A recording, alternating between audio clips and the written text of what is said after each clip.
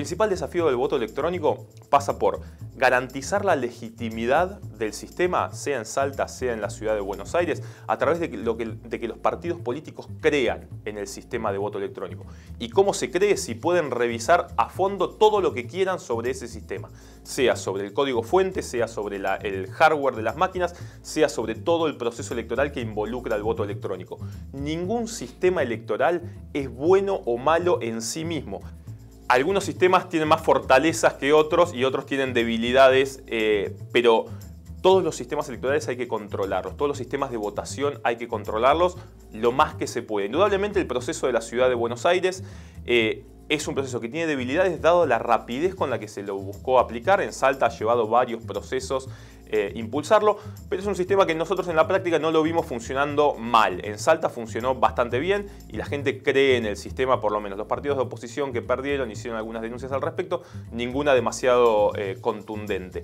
En Ciudad de Buenos Aires lo que se necesita seguramente es más tiempo, pero muy importante que los partidos políticos crean y para que los partidos políticos crean hay que abrirle la mayor cantidad de oportunidades para que controlen que lo que va a votar el ciudadano es lo que se ve reflejado finalmente en las urnas. Los pros del sistema de, voto electrónico tiene que ver que no hay más boletas en los lugares de votación, la, típica cantidad de boletas por cada partido, por cada candidato, con lo cual el ciudadano va a encontrarse sí o sí con la boleta, no le va a faltar.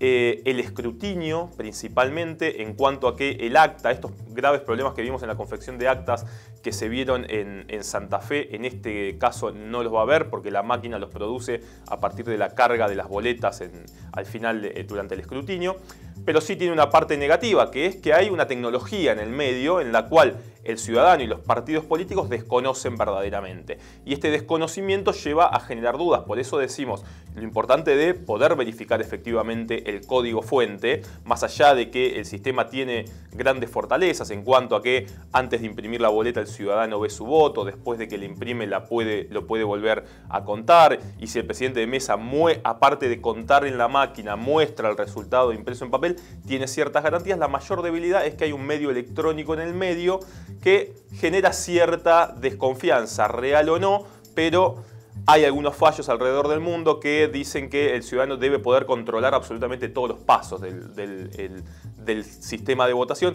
Ningún sistema es perfecto y estamos equivocados si buscamos el sistema perfecto en materia de votación.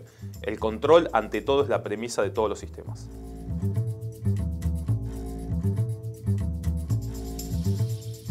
La verdad que es una discusión que se tendrá que dar. A mí me parece que está un poco. Eh, ya estuvo Salta, estuvo, está Ciudad de Buenos Aires, algunas ciudades de Córdoba, se está pensando en, La Rioja y en el Chaco.